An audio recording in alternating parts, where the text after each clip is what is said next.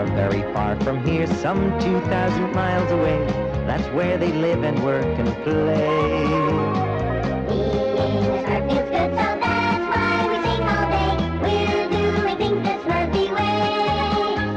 There's danger there, lurking everywhere, cause Gargamel will catch you if he can. Ooh, I hate Smurfs. That is true. I'll get you. I'll get all of you if it's the last